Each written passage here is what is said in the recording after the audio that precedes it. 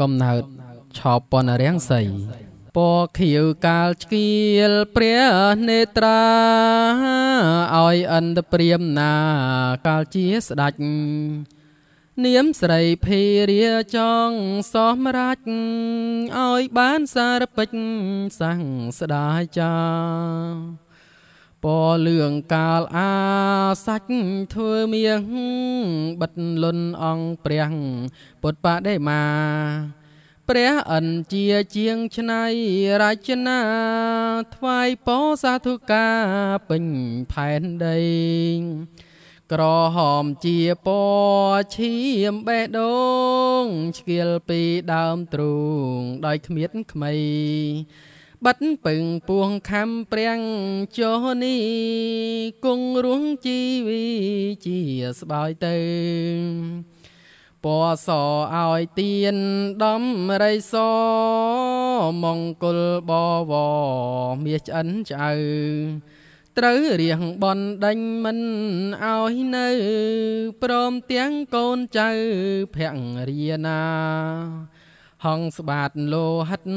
សាច់ម៉ាំងសាំងអាសាច់ខ្លួនតាំងដូមីដា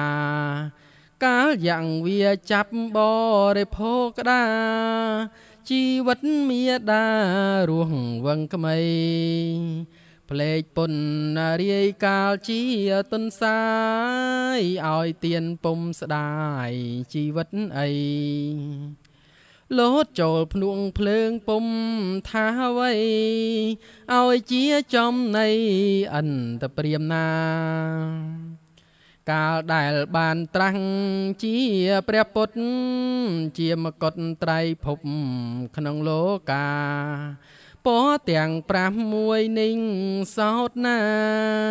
ខ្លៃមកកើតជាឆោបនរាំងសី ពេលនិងក្នុងលោកគេសន្មត់យកពណ៌នេះកត់ជាសាច់ក្តីហៅតុងសាសនាព្រាំងចិនស្រី ពីងពេញផែនដីផ្ទៃពោះសុធា យើងខ្ញុំរាល់គ្នាសូមគោរពវន្តាចោមភពតុងសាសនា សូមមានមង្គលឈ្នះមារីសត្វត្រូវនានីក្នុងភព3សូមឲ្យយើងខ្ញុំប្រញាប់ដល់ដើរកាត់តាមថ្នល់ទៅបូករី